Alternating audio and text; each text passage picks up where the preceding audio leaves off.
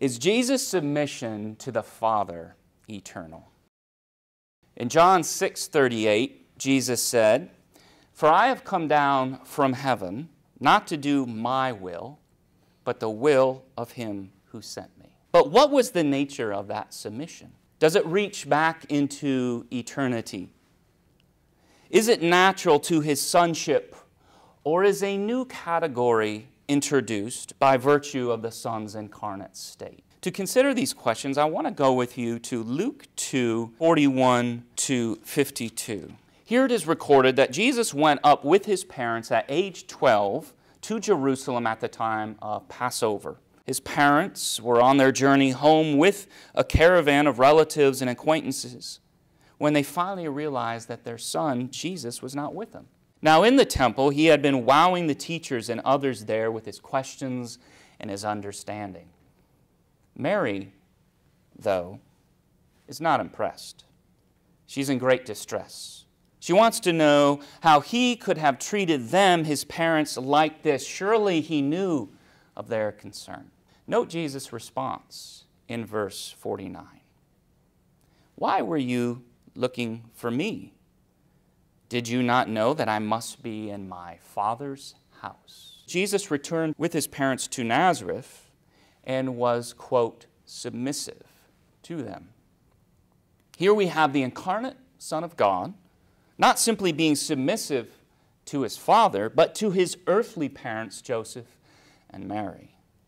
There was something right and righteous about his submission to his parents because it was a part of his higher submission to the Father. Jesus determined to live an obedient life before his Father in every area where we have failed. Why? For our salvation. And as we follow him through the Gospels, we learn this obedience will actively take him to the cross where he will then passively receive the penalty our sins deserve.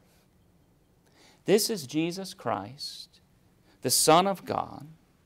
But let us remember this is the incarnate Son of God, obeying in our nature, submitting to the Father so that the divine plan of salvation can reach its blessed fulfillment. Remember Jesus' answer to his mother, though. Why were you looking for me? Did you not know that I must be in my Father's house? He is the eternal Son of the eternal Father. When Jesus prayed his high priestly prayer in John 17, he prayed for the glory he had with the Father before the world existed. This glory is an element of his status as a member of the Trinity, where he is equal with the Father and the Spirit in power and in glory. Before his assumption of our human nature, the Son never needed to submit to the Father because the Son and Father and Spirit share one blessed nature with one divine will.